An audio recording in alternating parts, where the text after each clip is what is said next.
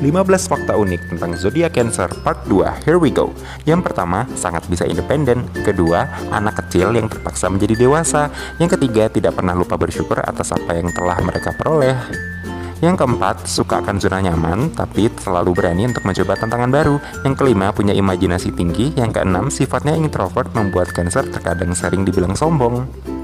Yang ketujuh, suka iseng dan jahil, namun di saat bersamaan juga perhatian.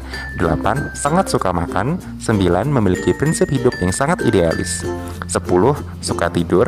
Sebelas, tidak ada zodiak lain yang bisa melakukan hal yang sama dalam hal cinta seperti yang Cancer bisa lakukan. Dua belas, memiliki sifat sangat pemaaf terkecuali untuk mereka yang mengkhianati kepercayaan. Tiga belas, susah untuk bilang tidak pada orang lain. Empat belas, suka memperhatikan hal kecil dan detail. Lima belas, sebagian besar memiliki bakat seni yang baik.